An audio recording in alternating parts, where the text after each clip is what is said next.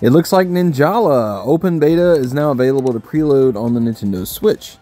GungHo Online is set to bring some really awesome, colorful action brawling uh, to the Nintendo Switch in a few months, with a free to play game that is reminiscent of things like Splatoon, and it's a battle royale about ninja kids tossing around bubblegum, smacking each other with it, having different abilities based off that bubblegum, using giant toy weapons, and man, I am stoked about this game. Now, the full version won't be available until May the 27th, but if you're like me and you're counting down the days for the beta, the beta begins on April the 28th, and you can go ahead and look at this wonderful image on your Nintendo Switch menu as you pre-download and prep for that beta.